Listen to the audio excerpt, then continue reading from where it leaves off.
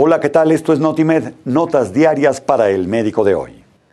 Etiología transmisible de las hemorragias intracerebrales espontáneas asociadas a transfusión sanguínea. De acuerdo con investigaciones recientes, las hemorragias intracerebrales espontáneas en donadores de sangre con diagnóstico de angiopatía amiloide cerebral podrían estar relacionadas con el desarrollo de esta misma patología en los pacientes que recibieron dicha donación.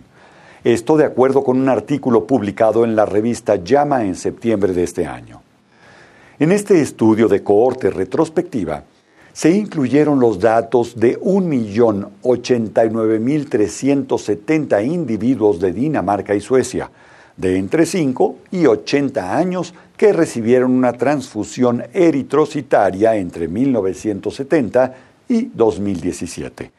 Se comparó la incidencia de hemorragia intracerebral espontánea en receptores cuyo donador más tarde desarrolló esta enfermedad con aquellos que recibieron sangre de donadores que nunca la desarrollaron. Se encontró que los pacientes que recibieron sangre de donadores con hemorragia intracraneal espontánea tuvieron un riesgo de 2.73 a 2.82 veces mayor de desarrollarla ellos mismos. Los hallazgos de este estudio sugieren la existencia de un agente etiológico de hemorragia intracraneal espontánea que es transmisible mediante transfusión sanguínea.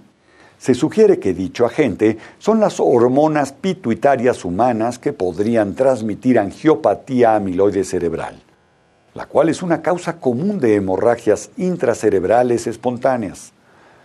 Sin embargo, estos hallazgos son susceptibles de sesgo, por lo que se necesita más investigación para explicar este fenómeno.